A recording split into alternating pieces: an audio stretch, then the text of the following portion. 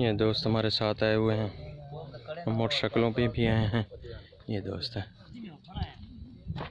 वो हमारी गाड़ी है। हम इस गाड़ी पे आए हुए हैं देखो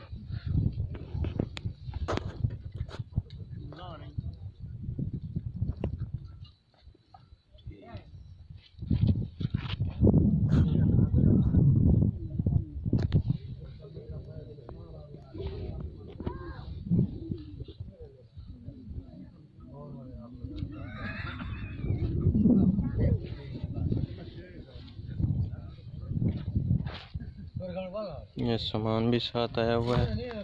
ये देखो, ये सामान है।